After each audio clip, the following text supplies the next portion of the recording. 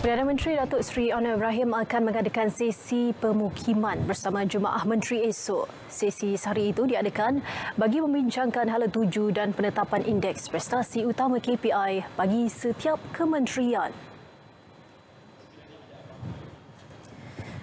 Menurut Menteri Komunikasi dan Digital Fahmi Fazil, pemukiman yang melibatkan semua jemaah menteri itu diadakan tepat pada masanya lah pemukiman yang bagi saya tepat pada masanya uh, kerana ramai uh, menteri yang telah mengambil masa sebulan sebulan setengah untuk memahami agensi ada yang telah mula lawatan ke negeri-negeri. Macam saya semalam di Kelantan uh, sempat bertemu dengan uh, warga Kementerian Komunikasi dan Digital di peringkat negeri Kelantan. Jadi kita ada uh, serba sedikit pemahaman dan kita akan selepas ini uh, menentukan hala tuju bagi setiap kementerian juga kerajaan perpaduan itu sendiri.